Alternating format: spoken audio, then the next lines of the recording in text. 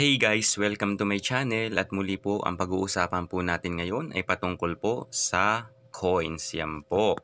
Ah, kung bago ka po sa akin channel, inaanyayaan ko po kayo na mag-subscribe na po kayo sa akin at i-click nyo lang po ang aking notification bell para po masundan nyo po ang aking mga new vlog para mabili, mabilihan ko rin po kayo ng mga coins na aking kakailanganin sa aking mga koleksyon. Yan po. At pinapaalala ko po nga po pala sa aking mga ka-coins dyan, ah, Monday po, 9pm, ako po ay nagla-live.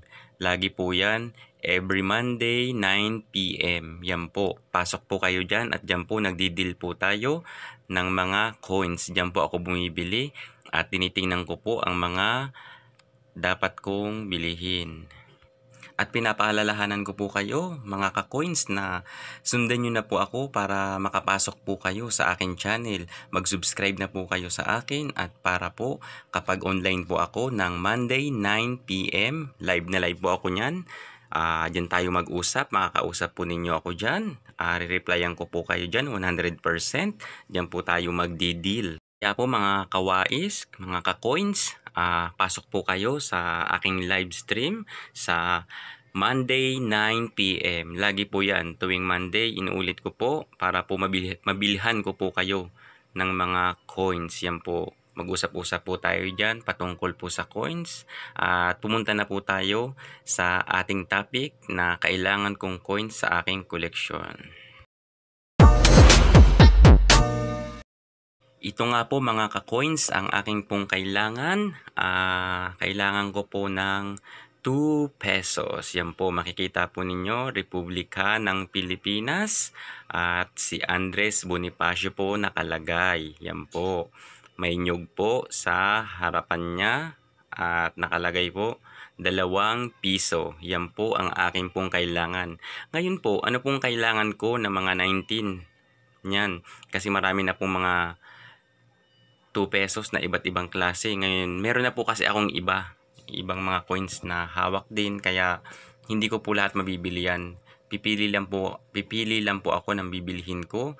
Makikita nyo po sa aking mga susunod na vlog dyan sa hulihan kung anong 19 po ang aking kailangan. Sapagkat marami na po kasing 2 pesos rin iba't iba. Meron pa pong 2 pesos na gaya nito.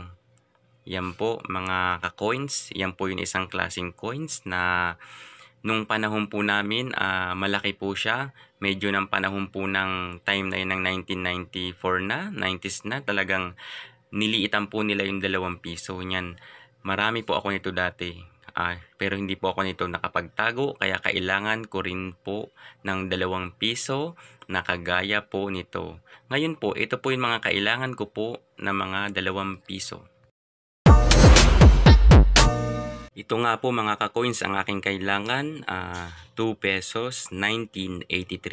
Kung mapapansin nyo po sa aking mga vlog po, uh, lalong-lalo na yung mga hinahanap ko po, 1983 karamihan, sapagkat po uh, may sentimental value po sa akin ang 1983. Basta po, yan po ang pinaka-paborito ko, 1983. Kaya kung meron po kayo mga ka-coins, uh, mag-PM na po kayo sa akin at kung hindi po kayo makakapag-PM, pumasok po kayo sa akin live stream sa Monday 9 PM. Yan po mag-usap-usap tayo doon at ididil, ididil po natin yan kung magkano po ang bibilhin ko yan sa inyo. Yan po. Kailangan ko po ng 1983. Dalawa po ang kailangan ko ng 1983. 3. Yan po, dalawang piso na 1983 at sana po uh, yung ibebenta nyo po ay medyo malinis pa rin po at medyo maganda para naman po okay pa po siya at wala pa po masyadong kalawang. Mas malinis po kasi ang coins mas maganda. Yan po, ah, 1983 po ang aking kailangan mga ka-coins at ito pa po ang isa kong kailangan.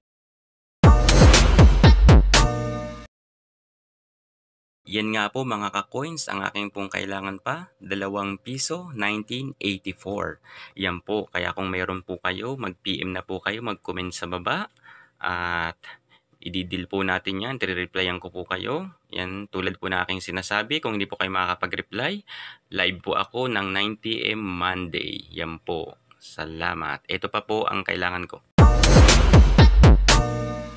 Mga ka-coins, uh, year 1990, yan po.